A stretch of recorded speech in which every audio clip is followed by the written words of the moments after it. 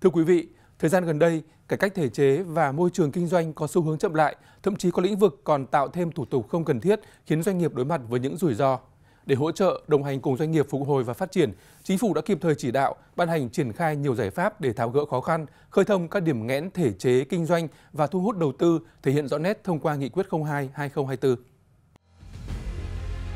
Từ năm 2019, các doanh nghiệp ngành thủy sản gặp khó khăn trong việc xác định thuế thu nhập doanh nghiệp do chưa được xác định cụ thể thuộc hoạt động chế biến hay không. Tuy nhiên, Nghị quyết 02 trên 2024 của Chính phủ đã cởi trói cho ngành này với quy định nghiên cứu ban hành văn bản quy phạm pháp luật quy định rõ chế biến thủy sản là hoạt động chế biến.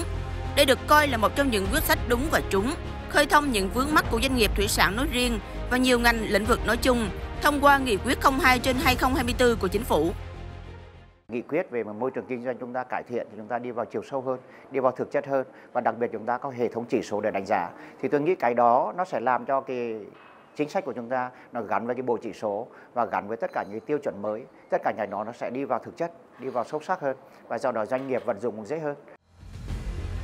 Năm 2024, số mục tiêu cụ thể để cải thiện môi trường kinh doanh của Việt Nam, trong đó có nâng xếp hạng nhóm chỉ số hạ tầng công nghệ thông tin lên ít nhất 3 bậc,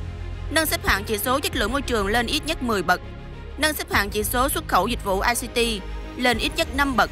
tăng điểm chỉ số thủ tục thông quan trong xếp hạng hiệu quả logistics của Ngân hàng Thế giới lên ít nhất là 0,2 điểm.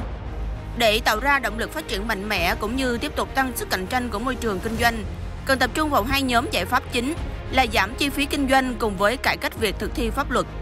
Trước hết, về thủ tục hành chính, cải cách theo hướng giảm số lượng thủ tục, thời gian, chi phí và rủi ro cho doanh nghiệp. Việc cắt giảm, đơn giản hóa ít nhất 20% số quy định, đơn giản hóa tối thiểu 20% thủ tục nội bộ và cắt giảm ít nhất 20% chi phí tại văn bản 493 của năm 2023 của Thủ tướng Chính phủ sẽ vẫn tiếp tục thực hiện.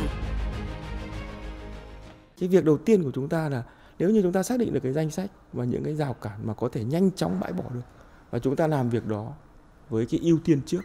thì rõ ràng là nó có thể có hiệu quả ngay lập tức và song hành với nó thì chúng ta vẫn thực hiện cái việc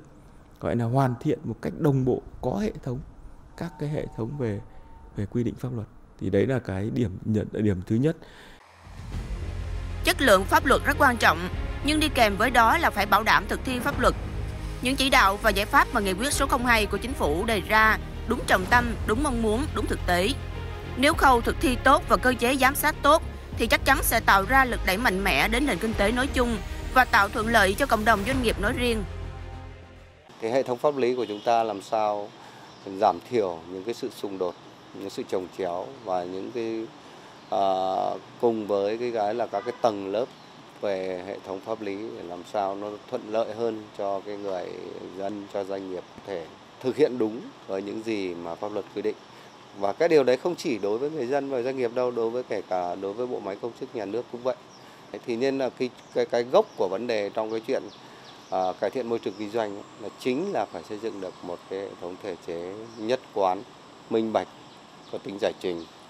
và không có cái sự trồng chéo mâu thuẫn lẫn nhau Trọng tâm của nghị quyết này là nâng cao chất lượng xây dựng chính sách, đẩy mạnh phân cấp phân quyền để tạo môi trường thuận lợi cho hoạt động đầu tư, kinh doanh.